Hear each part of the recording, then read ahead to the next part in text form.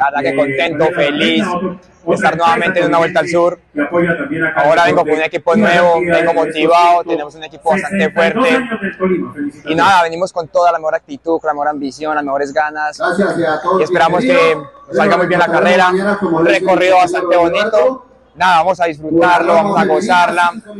Tenemos un equipo muy bien conformado, vamos a luchar por, por tener el título. Bueno, digamos que es importante para nosotros estar presentes con el equipo, viniendo a defender un triunfo que tuvo Alexander Gil el año anterior, aunque estaba con el orgullo paisa.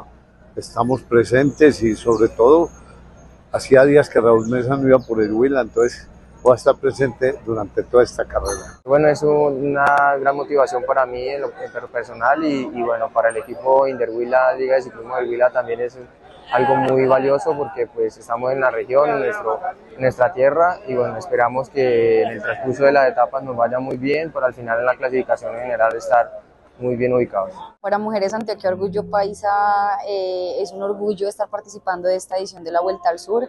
Eh, yo creo que es catalogada una de las carreras que más aporta al crecimiento del ciclismo femenino teniendo en cuenta el número de etapas y los kilometrajes de cada una de ellas. Es una de las carreras que, que más eh, se acerca a los kilometrajes pues, que realmente las mujeres tienen que correr en Colombia.